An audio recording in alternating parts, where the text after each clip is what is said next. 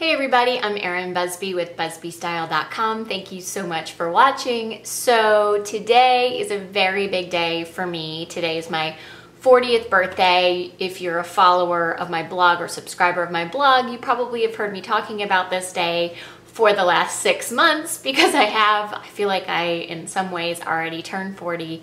Um, but today is actually the day.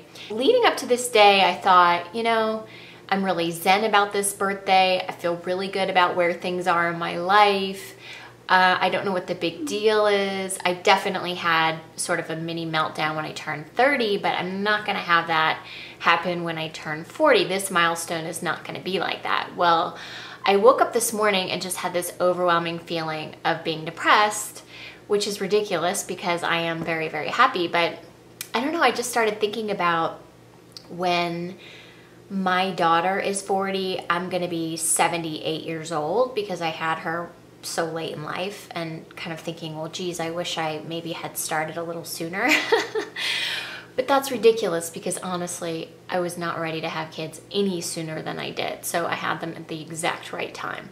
But um, I don't know, there's something about this milestone that does get to me a little bit. I think um, you start reflecting on where you are in your life, what you've accomplished, what goals you set for yourself and which of those goals you have um, checked off the list.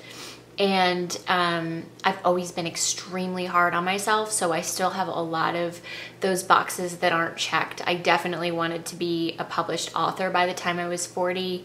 I have been working on a book for the last six months, a styling um, book, but haven't finished it yet because, of course, there's just never time. But that will get done. I'm gonna make sure it gets done at some point. Um, but you know, my, my big goals for this milestone were really to have a family, which is priority number one for sure for me, which I do. And both of them are healthy and both of them are happy. And both of them, I think, are growing up in a great environment. They both are having a childhood that I didn't have. Um, so that was probably the biggest box to check. And it's a continuing process. I mean, certainly I could screw them up tomorrow, but I'm gonna try with every fiber of my being not to screw my kids. And then, you know, the other box was to have a pretty good marriage and you know, marriage is tricky and has um, certainly ups and downs. And I was a horrible wife in the beginning of my marriage. Uh, definitely not afraid to admit that, but I think I'm a better wife now, a much better wife. I also wanted to really have a very um, viable business. I wanted to build up a brand and a business. It hasn't happened as quickly as I wanted it to, and the fiscal component of it hasn't happened the way that I've wanted it to, but um, nothing ever happens the way that you want it to. Things take twists and turns and ups and downs and and so I'm still plugging away at my business. Um, it's gotten a lot more focused lately and I do feel like I see a clear path for success.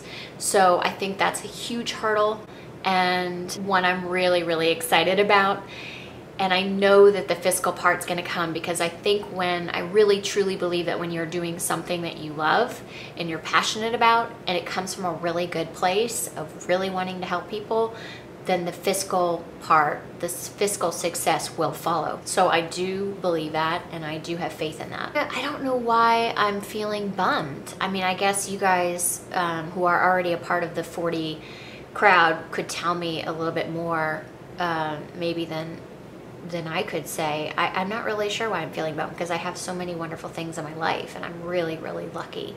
But I'll tell you the really good part for me um, is I spent a lot of time worrying about what other people thought about me. And my husband said to me, because he's 11 years older than me, he's quite a bit older. He said to me, there will come a point in your life where you just will not care. You will not put this kind of energy into what people think about you. And I thought, you know what? I know he's right and I'm looking forward to that day. I honestly feel like at this point I am freer from that. I don't care as much what other people think. I I just want to be kind to people. I want to help people. I want to be just a much I guess kinder, gentler sweeter version of myself than I was in my 20s and 30s. I, I do feel a lot freer. I do feel a lot more confident and comfortable in my own skin. Um, you know, I couldn't have I couldn't have done this YouTube channel. I couldn't have done my blog. I couldn't have done the social media thing probably 10 years ago. I just couldn't have. Um, I would have felt too vulnerable. And now I don't I don't really care if I feel vulnerable or not, and if people like me or if they don't like me you know,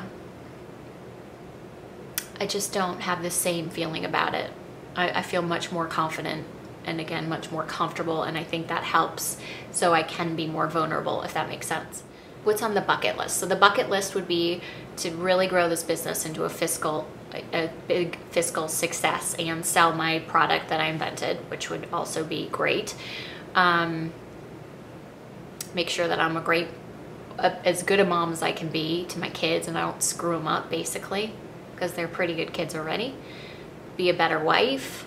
Um, try not to be so tired all the time. My poor husband. oh man. We are going, we're planning a trip, trip to Africa, which is one of the things on my bucket list and I'm really excited about that and we're gonna go next year so I can check that off the list. I do want to see Machu Picchu at some point in Peru. Um, we also, my husband and I both want to go to the Galapagos and see all the giant turtles and all the cool like prehistoric type animals there.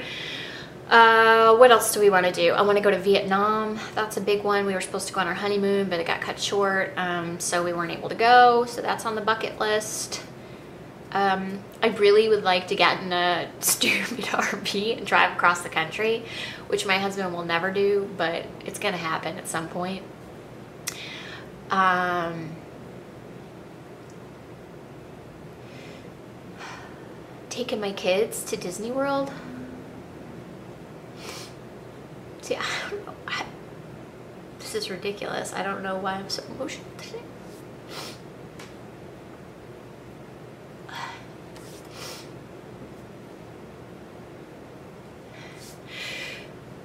See, this is just inexplicable to me. I just don't understand. Well, my husband also showed me these video messages earlier from some friends. Made me really emotional.